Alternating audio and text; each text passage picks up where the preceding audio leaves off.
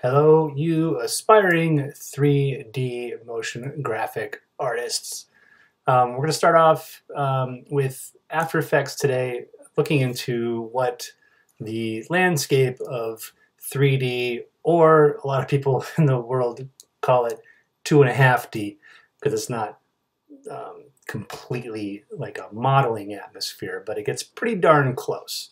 Um, this this platform is going to allow us to move into um, a, a, better understanding of what 3D space and staging looks like. Um, really trying to get a grasp on that third coordinate, the Z. We all know what the X and Y is from most of our math classes we've taken over the last many years. And then some of you have also had experience with some Z. Um, but uh, this is something artistically that we kind of have to wrap our head, heads around. I'm going to try to get us to be looking at this not just as artists, but also um, like scientists or technicians, because it is something that is really um, uh, needs a critical mind and an analytical mind uh, in order to think about um, what staging is, what the relationships of spatial elements and relationships are, um, as well as movement, which we'll get into eventually. Right now, it's going to be perhaps um, a little rudimentary, but you got to start at the beginning to get towards the end. There is no end, by the way. Yeah, that's that's okay. That's what makes this exciting. It's a deep pool we're getting into, so uh, hang tight the first thing I want to do is just talk about how to move into 3D space and how to think about elements, layers, etc. that um, that we can convert into a three-dimensional component in that space. We're going to look at things for a while just sort of as flat surfaces in a 3D world, and then we're going to be looking at ways to actually create extrusions and have physical depth. I'm going to start off this way because I think it's really important for you to be able um, to uh, problem solve with the basics before we get into things that are a bit more heavy and advanced. I think you'll appreciate that. Um, so first thing, I'm in After Effects here. I'm going to want to start off with a new project. All of our projects sh should be at least um, HD, right? That's the world we live in right now. So um, I'm going to create a new composition. I'm going to use the new composition button. I like to use this button in the project bin, but you can always go to File, New, you can't, Composition, New Composition, um, or Command N, Apple N, whatever. Um, so uh, what I'm going to I'm going to call this uh, 3D space one because we might get into space two. Um, and this is where we have to make sure we remember to tell it and define what our dimensions are. So I'm going to use my um, my HD TV 1080 2997. That guarantees I'm going to have a width of 1920 by 1080. Right? This is standard HD size if you're going to be working with 2K or 4K, there are those options in there. Um, it's really going to end up bogging your system down if you don't have a heavyweight computer on your side. Um, that being said, we are going to move into some some work not far from the future here that is going to end up very processor intensive with our machines, um, even just in After Effects once we get out of After Effects and move into some of those 3D modeling and animation programs, you're going to see that your machine just might not be up for this battle. And that's when we have to do some serious tech problem solving or waving the white flag and seeing what other options we might have. Um, that is part of the downfall of what this semester looks like in this pandemic, since we don't have access to our powerhouse lab with super Frankenstein PCs and nice software.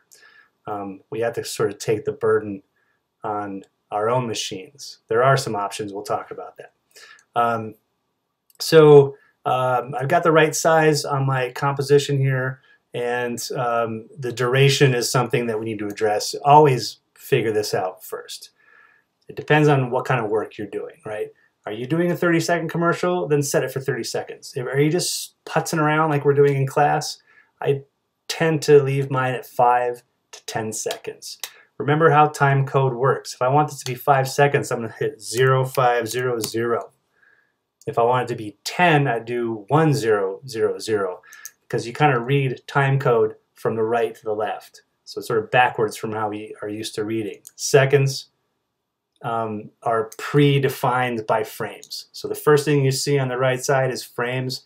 We're in an environment where it's 30 frames per second. So every 30 frames equals one second. So if you wanted this to be five and a half seconds, I would do 0515. And that would mean 15 frames and five seconds. If I, if I typed in 0530, it would give me, it would just change to be 06 because 30 frames, it's a second. So I'd be saying, hey, give me five seconds and then another second. All right, so just get used to that. The other thing is your background color. I just want to have black for now. It's default color, right? So then, of course, this shows up with a checkerboard. That's just because I have my transparency grid enabled, and that is on the bottom of my composition window. I have asked for you guys to go through some of the After Effects review um, tutorials that I have. That's all on Moodle um, and tutorials that I put together on, on YouTube. If these things are all of a sudden a surprise to you, that means you got to go back and do some review because we are jumping in as motion graphic artists who have done this before. If you have not gone through an After Effects course and you're in this 3D class, this is going to be a tricky start. You're going to have a lot of work to do on your end in order for us to move forward efficiently and effectively. All right, so I now have this composition. It's just a black void. There's nothing in here. I can't even def define if something is 2D or 3D. And this is where I need to have some objects, some assets in this. And so right off the bat, just to keep things super simple, I'm just going to use my, my new solid function under the layer menu, new solid, and it's going to ask me what I want to call it, um, what size do I want this to be, and what color. So I'm, I'm just going to call it, um, oh geez, I mean black solid one is fine. I'm just going to change the dimensions and the size. I don't really care what it's called right now.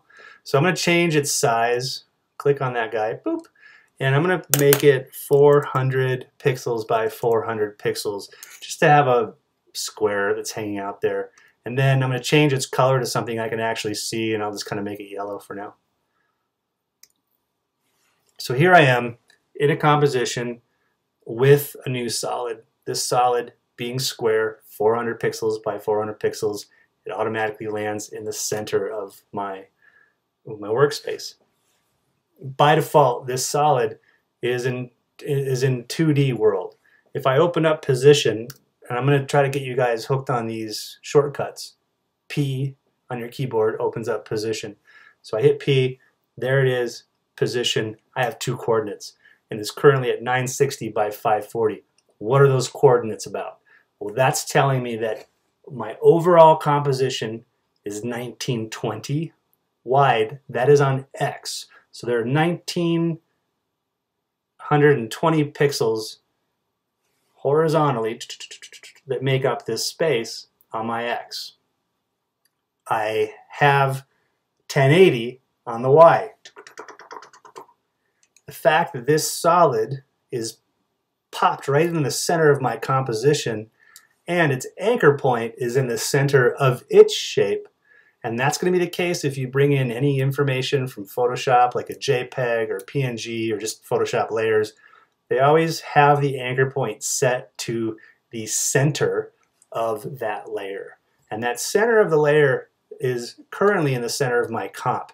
So that coordinate there that says my x is 960, that is half of 1920. The y value, 540, that is half of 1080. So that's how you can see this um, orchestration of coordinates. This is a 2D element right now. I have two dimensions that I'm working with, x and y. I now want to turn this into a 3D element. So I'm going to click on the little button underneath what looks like a 3D cube. If you don't see these things, remember, because you're an After Effects artist, this is called toggles. I mean, sorry, this is switches. And you have to toggle between switches and modes at the bottom of that timeline window. So toggle between switches and modes. Modes are things like your blending modes, track mattes, etc. Switches are all the little buttons that you can press in order to make your layers be defined under certain values. Turn that phone off so it doesn't interrupt me anymore. So there's one that is the cube. The cube is 3D layer. Allow this layer to be manipulated in three dimensions. As soon as I click on that cube, now I get other information. The information that I get for position is three coordinates. I have an X, I have a Y, and now I have a Z. By default, my Z value, every time I start off beginning of 3D world is it sets it at a value of zero. Positive Z means it's moving further away from me and me being a default camera. There is no camera in here yet, but there's always just the default camera. We'll get there eventually. A negative Z means that it's coming closer to me or the camera. So to just to demonstrate, if I slide left and right on the X value, it should move from right to left. I'll just hit Command Z to undo that. If I move left to right on the Y, it should move down or up because it's either going more value in Y or less value in Y, either getting closer to zero or further away. Then we have the Z value. And as I, as I increase the value of Z, this cube just right now looks like it's getting smaller, but it's actually moving away from me. And as I increase or decrease it into the negative values, it gets closer to me. If you ever want to see these things move at a more drastic pace, just hold down shift while you manipulate that value. So I'll start scrubbing left or right. Now I'm holding down shift and you can see how it definitely is moving at a lot much faster rate. At one point, it gets so close to me that it moves behind my camera. So now it's like, it's back there, I can't see it, right? So that's what happens if you get too close to your camera. Anytime you change these values, know that if you just want to restart and start over, you can um, do a right click or a control click and just hit reset and that'll reset those values back to where it was when we first plopped this thing in there. You're going to see now that there's also little arrows on this thing. You're going to see a, a, a red arrow, and that is your X value. You're going to see a green arrow, that is your Y. So even if you just hover over these things with your mouse, they redefine themselves saying, hey, this is X. So if you were to grab it on stage, you can move it laterally, laterally from right to left. So that defines our X value. If you scroll on the green arrow, you'll be able to move this up or down on the Y. Then sort of what you can see is that there is a Z. So you kind of have to put your, your cursor right over that thing because it's an arrow pointed directly at you. And we don't really have any perspective right now, but that's an arrow sticking like right towards your face. If you hover your mouse on that thing, you can see that it says Z, and you should be able to drag it left or right and see that it's either getting closer to you or further away. Um, and then we have things like rotation, but we'll get there in a second.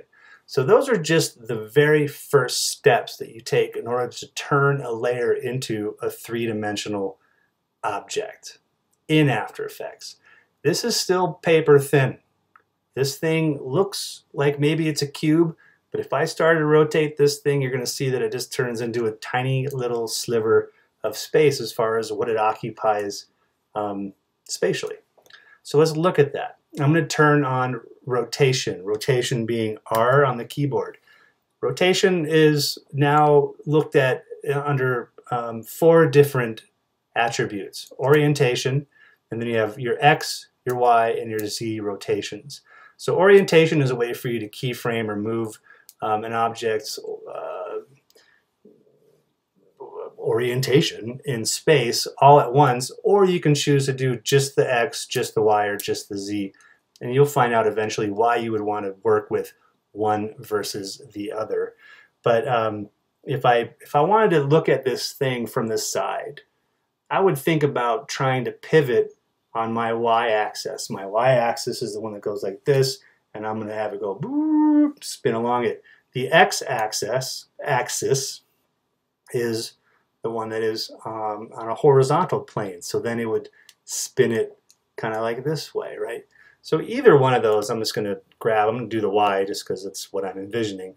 And as I start to click and drag on that value, the, the, the degree value, you can see that this is starting to rotate. And I'm, I'm getting an idea of what this element looks like in space. And then if I get to 90 degrees, it just kind of goes away. That's because there is no volume to this. It is, it is not even a pixel thick. If it was one pixel thick, then I would see a little bit of an edge, but it's merely just um, a piece of paper. Let's call it that. Um, so, so that that's what you can expect with these sort of objects. And there are some fun workarounds, and we'll get to that eventually. But what's important for us to look at as far as values for rotation go is that it's not just um, a defined number. It is a degree and a revolution. Um, so if I'm if I'm looking at the y rotation, I do have my degrees, so I can go you know up to 90, and then it's like sort of going this way. I can go past it, and so now I'm kind of looking at the back side of it, and then I get to 180, and now it's absolutely the back side of it. If I keep going all the way to 360, here we go, up, it changes over. Now I can see that I have done one full revolution and now I'm on new degrees. And this is important for us to understand that you could say uh, in animation, I want this thing to rotate four revolutions. I don't have to go to the degrees, I just have to go to that revolution um, input data spot there. And I can say four.